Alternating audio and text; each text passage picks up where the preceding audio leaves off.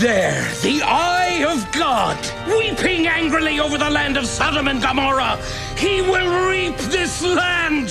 He will pull the weeds and start again. This broken earth will become the new holy, promised land.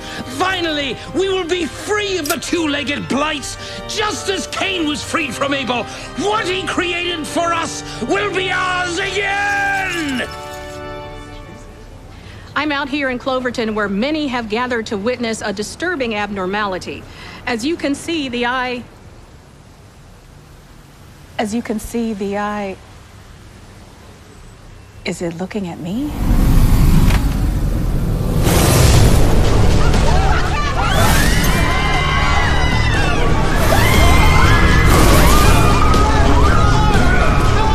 Look at them quiver in fear.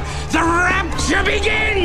And I, the thorn growing in the wilderness, will flourish in their absence.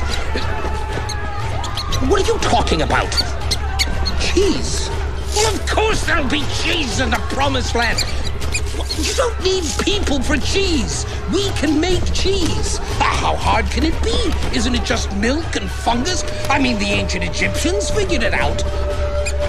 You take that back! It is going to happen this time. I knew it will. No one can stop the will of God!